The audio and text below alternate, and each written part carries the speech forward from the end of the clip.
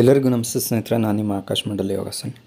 ಸ್ನೇಹಿತರೆ, ಇವತ್ತಿನ Bhadra dam water level ಅಂದರೆ ಒಂಬತ್ತನೇ ತಾರೀಕು ಆಗಸ್ಟು ಎರಡು ಸಾವಿರದ ಇಪ್ಪತ್ತೆರಡರ water level one eighty four feet out of one eighty six feet ಅಂದರೆ ನೂರ ಎಂಬತ್ನಾಲ್ಕು ಅಡಿ ಭದ್ರಾ ಡ್ಯಾಮ್ನ ಟೋಟಲ್ ಕೆಪಾಸಿಟಿ ಇರುವಂಥದ್ದು ನೂರ ಎಂಬತ್ತಾರು ಅಡಿ.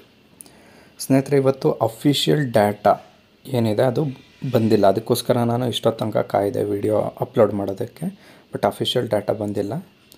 ಸೋರ್ಸ್ ಪ್ರಕ್ ಸೋರ್ಸ್ಗಳ ಪ್ರಕಾರ ಇನ್ಫ್ಲೋ ಬಂದ್ಬಿಟ್ಟು ಮೂವತ್ತ ಆರು ಸಾವಿರದ ಚಿಲ್ಲರೆ ಇನ್ಫ್ಲೋ ಬರ್ತಾ ಇದೆ. ಮತ್ತು ಔಟ್ಫ್ಲೋ ಕೂಡ ಜಾಸ್ತಿನೇ ಇದೆ.